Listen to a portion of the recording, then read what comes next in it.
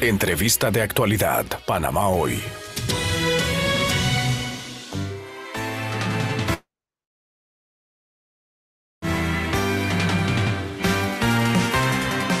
Bien, vamos en esta oportunidad a conversar con Maribel Pinto. Ella es jefa del Departamento de Acción de la Dirección de Cambio Climático y Medio Ambiente. Ella nos va a hablar sobre lo que están organizando esta Semana del Clima. Buenos días, Maribel. ¿Qué nos puedes ampliar en esta información?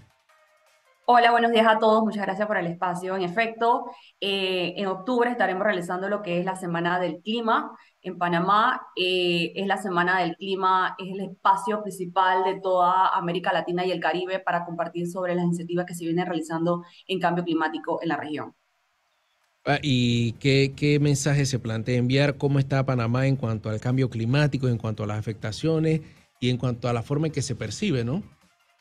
Claro, eh, la Semana del Clima engloba cuatro temáticas muy importantes eh, para todos, que son los sistemas energéticos, la industria, eh, ciudades, asentamientos urbanos y rurales, infraestructuras y transporte, tierra, océano, alimentos y agua, sociedad de salud, medio de subsistencia y economía. Entonces, en estos cuatro grandes enfoques, estas grandes cuatro temáticas, eh, se busca compartir y eh, también proponer nuevas iniciativas que se estén trabajando en conjunto en los países eh, para que seamos más resilientes y también reducir nuestras emisiones.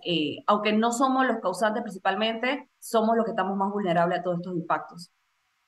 Ok, y la invitación, ¿no? Entonces, de, y nos comenta un poco qué actividades van a tener durante esta semana. Claro, la Semana del Clima será del 23 al 27 de octubre, será una semana completa. También paralelamente vamos a tener lo que es el Foro de Ministros y Ministras de América Latina y el Caribe. Eh, será el día miércoles exactamente. Todos los cinco días vamos a tener eventos paralelos donde expertos y participantes de sociedad civil, organizaciones eh, privadas e instituciones públicas de diferentes partes del mundo van a venir y van a estar compartiendo todo lo que han estado trabajando eh, y impulsar sobre todo eh, las iniciativas y también trabajar con otras personas y no solamente trabajar desde un solo sector, sino trabajar de manera integral como lo es y afrontar lo que es el cambio climático. Ok, oiga, muchas gracias Maribela por la información. Que tenga un excelente día. Muchas gracias a ustedes.